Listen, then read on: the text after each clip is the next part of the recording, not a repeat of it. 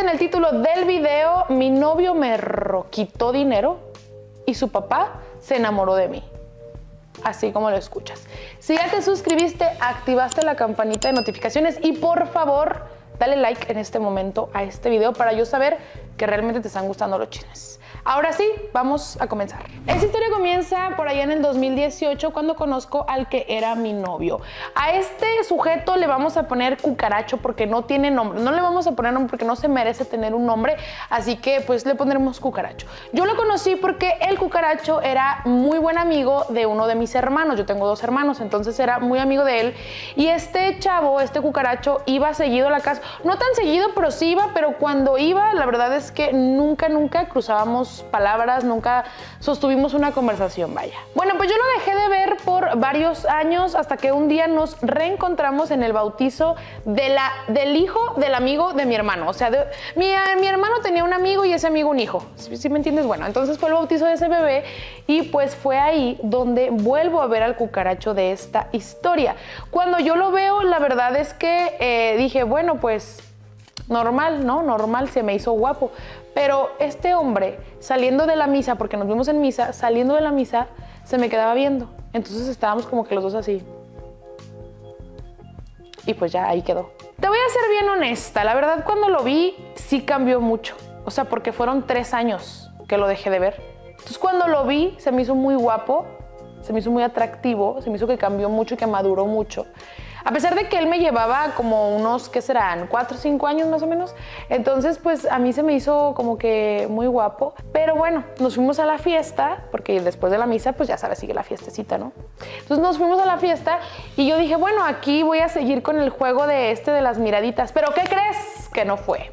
No fue el cucaracho y dije, no, pues ya no lo voy a volver a ver y seguí mi vida pues como si nada hubiera pasado. Hasta que un día, hermana, me llega una solicitud de amistad en Facebook y yo me meto, yo estaba trabajando, entonces me meto y yo, ah, es el cucaracho. El cucaracho me mandó solicitud de amistad y pues yo inmediatamente se la acepté.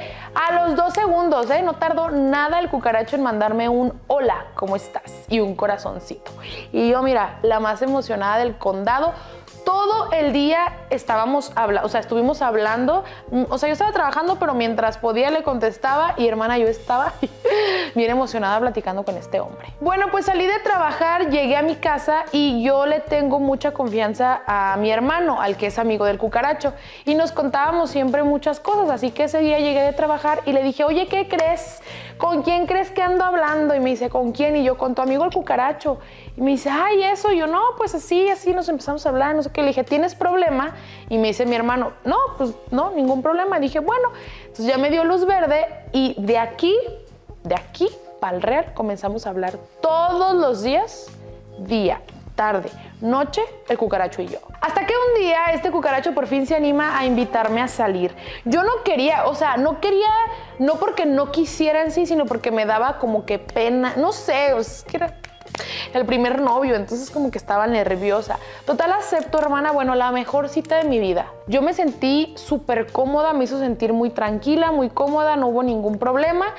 Ándale que ese día que llego de la cita, llego a mi casa y estaba mi hermano, el amigo del cucaracho, y otro amigo de ellos.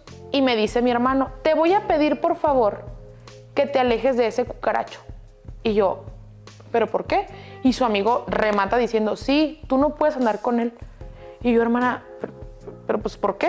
Total que yo decido contarle esta situación al cucaracho y le digo, oye, ¿qué crees? Pues mi hermano y su amigo de ustedes me dijo que yo no puedo andar contigo y me dijo, no, pues si tú no quieres andar conmigo, pero así como que bien tristecito.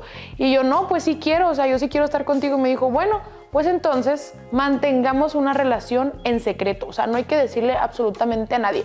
Y, o sea, ya salíamos diario, de verdad todos los días nos veíamos, pero el problema aquí era, hermana, que me sentía un poco incómoda por salir a escondidas, como, o sea, ¿de qué me estaba escondiendo? ¿Sí me explico? Yo no entendía, en ese momento yo no entendía por qué me estaban advirtiendo, hagan caso, hagan caso, hagan caso. Cuando les dicen, oye, no, es por algo, hermana, algo les saben.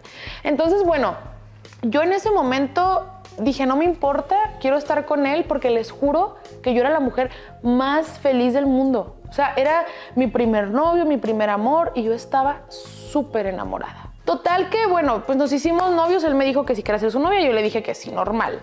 Pasa el tiempo y se venía su cumpleaños, el cumpleaños en febrero.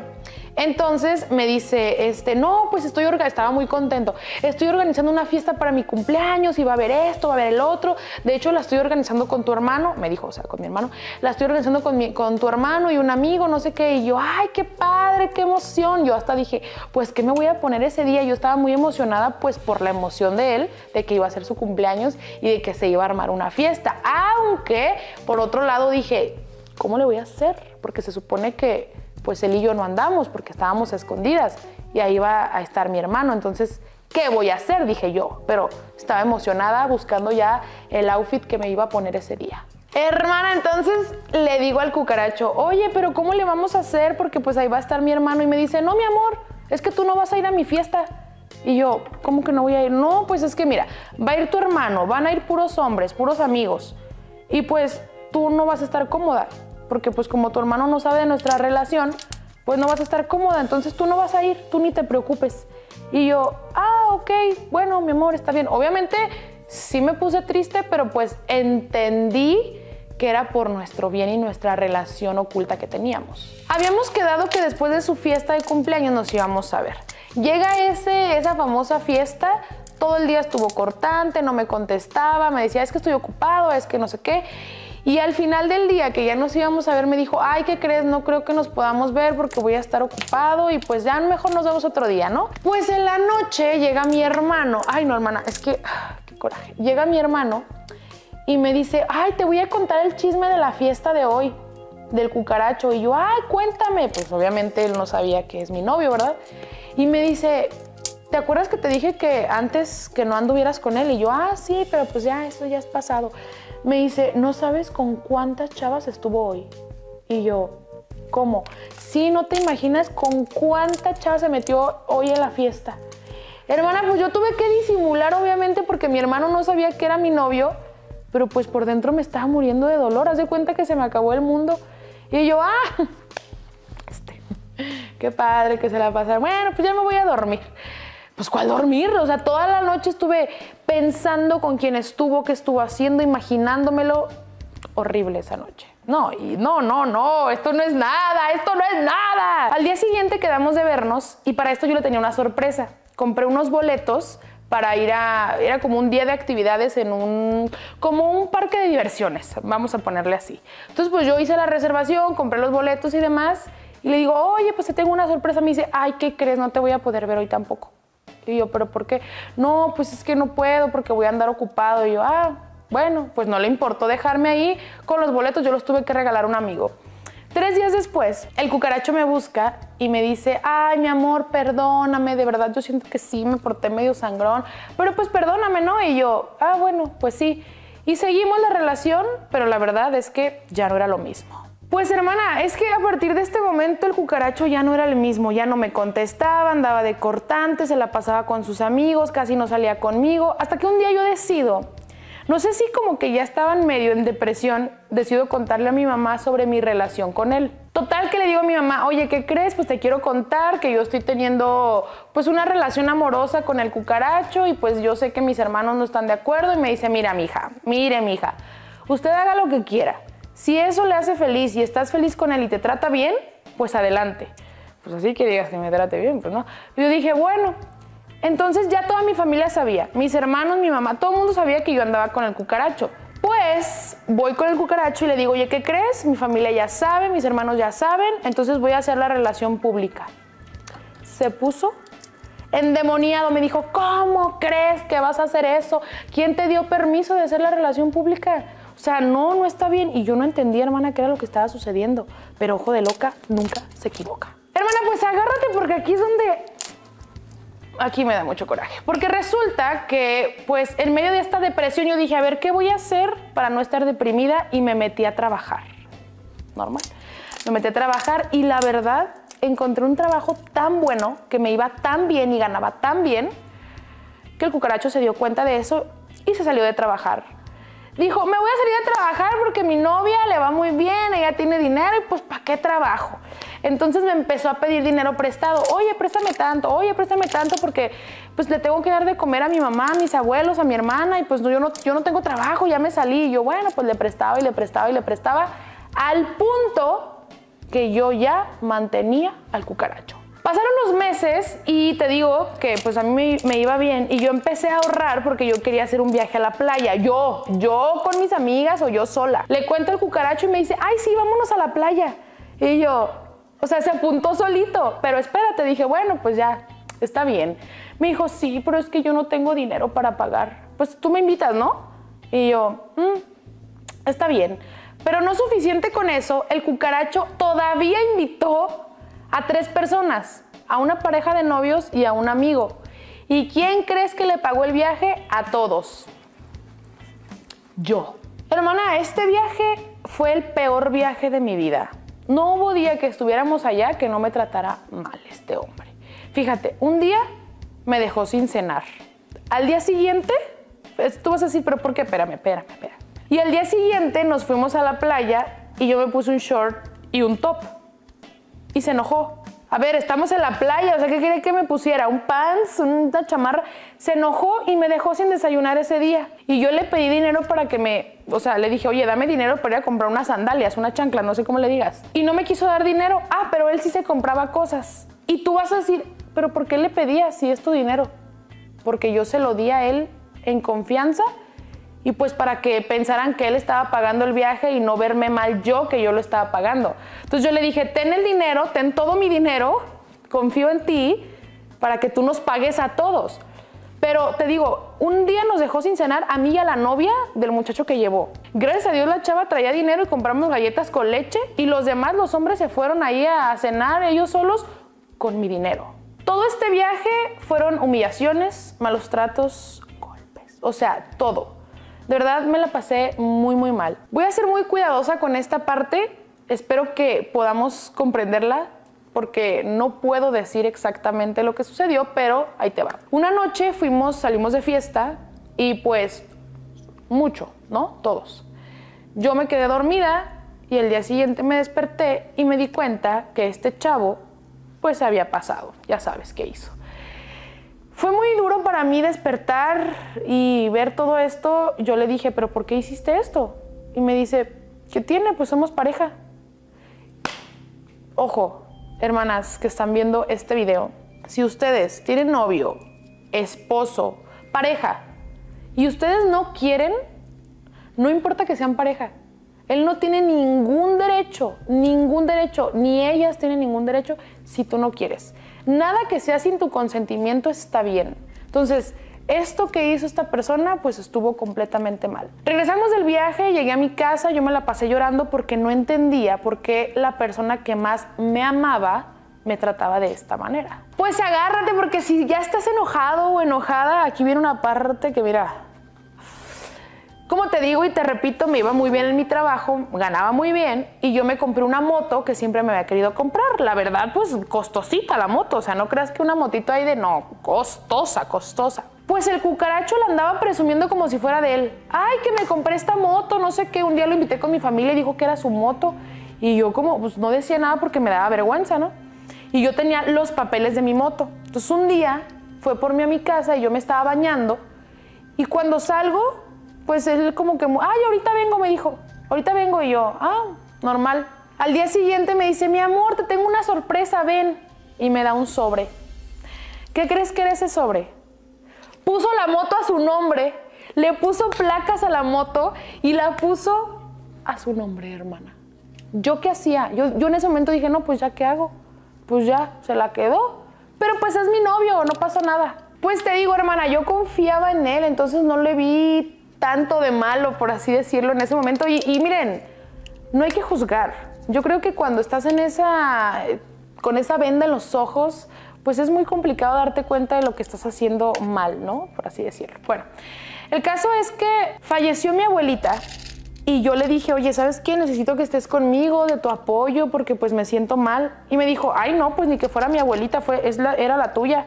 Tú hazle como quieras. Me dijo, es más, como estás muy deprimida y muy triste, ay, cuando estés bien me buscas, porque yo así no te quiero. Y yo, Pues bueno, hermana, está bien. Dije, pues es mi problema, ¿no? Porque es muy triste cómo te empiezan a envolver la mente y a culparte y decir, sí, no, yo estoy mal, ya que esté bien, lo voy a buscar.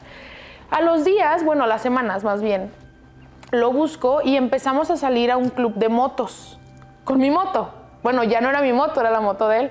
Y en este club, o a este club, iba el papá del cucaracho. Y es aquí donde entra este personaje, el papá del cucaracho. Lo conozco, me caía muy bien, todo perfecto. Conocí a la esposa, a la esposa del, papá del cucaracho, porque los papás del cucaracho estaban separados, entonces el papá vivía aparte con su pareja. Total, este, pues yo me hice muy amiga del papá del cucaracho porque empezamos a ir mucho a su casa, a la casa del papá del cucaracho, y veíamos películas y todo. Total que un día el papá del cucaracho me manda un mensaje y me dice, oye, eh, ya no andas con mi hijo, ¿verdad?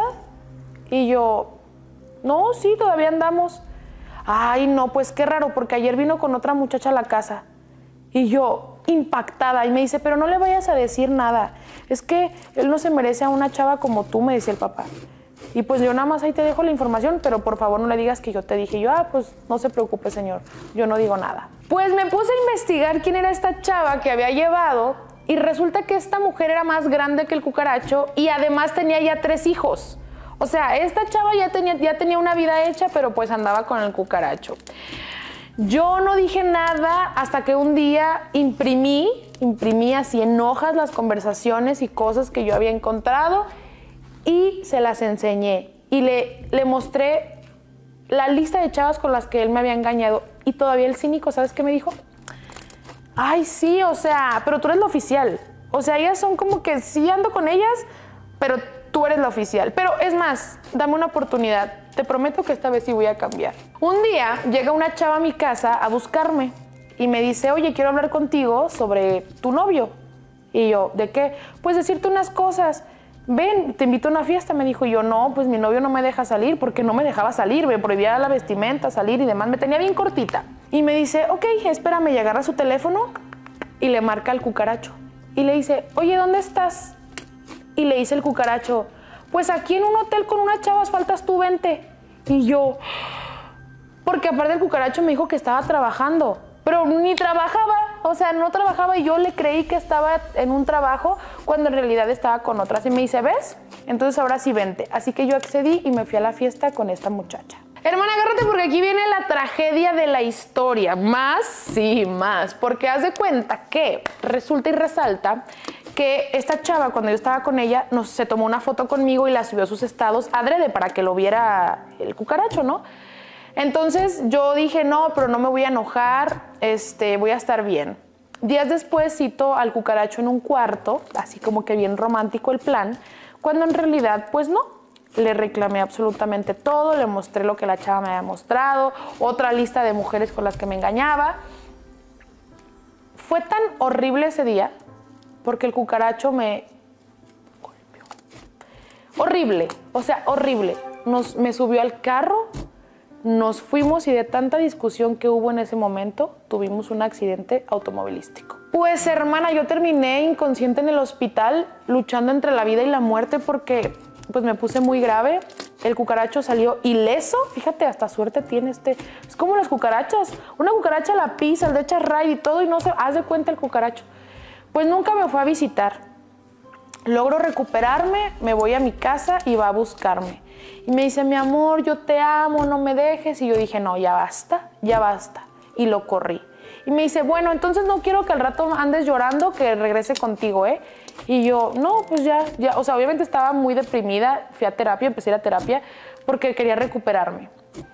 Ay, hermana, pues en eso me entero que la chava con la que estaba saliendo, la chava que ya tenía tres hijos, estaba embarazada del cucaracho. Y no suficiente me entero que yo también estaba embarazada del cucaracho. Yo no le dije nada al cucaracho de que yo estaba esperando un bebé porque pues no. Pero desafortunadamente a los tres meses perdí a mi bebé. Yo obviamente intenté desvivirme, hermana, no te lo voy a negar, por tanta depresión, porque no entendía por qué me estaba pasando todo esto. Y a las dos semanas de perder a mi bebé, ¿quién crees que me escribe?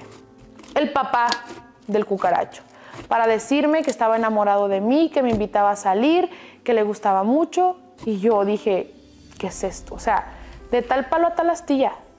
ahí me di cuenta que eran completamente iguales.